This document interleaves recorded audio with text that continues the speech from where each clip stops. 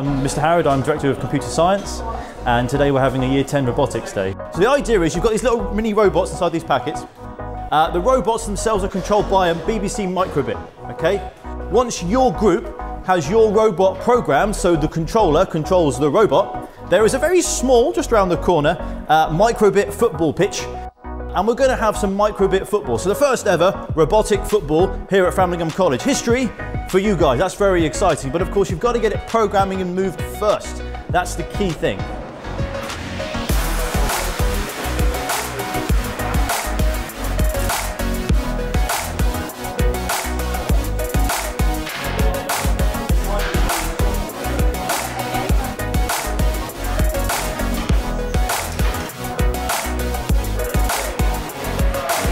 All students do computer science in year nine and they take it as an option at GCSEs. This is why this is quite nice. So these are year 10, so they're not necessarily chosen it, but they've got another chance to hopefully see programming again, maybe in a different light, a bit more interactive than maybe in the classroom.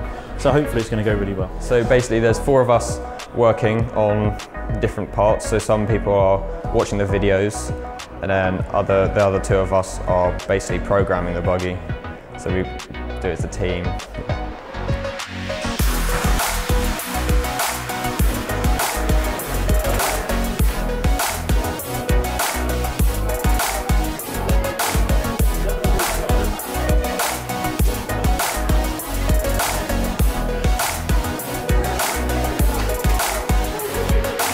The uh, students come along with a really positive attitude.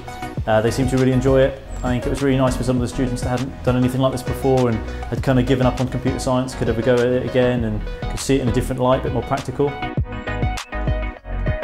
Uh, there was some real, real stand-up performances and there was some people who really understood the code and they really got into the depths of it and they were playing with different axes on the accelerometer rather than just what I'd shown them. They were starting to experiment. So that was really pleasing. Uh, at the same time, there's always one or two groups who don't quite achieve the same as the other people, but I think that's part of the learning curve, that's part of the fun, and they, they all had really good fun uh, racing each other and playing football, so yeah, it was really good. Go, go, go, go, go, go.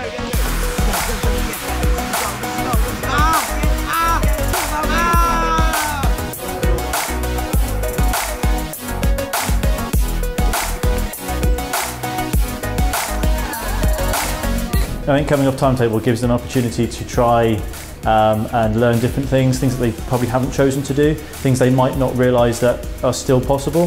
So I think sometimes it's really important for them just to have a little bit of time off the timetable, a bit of a different day, a bit more of a relaxed day and learn some different skills.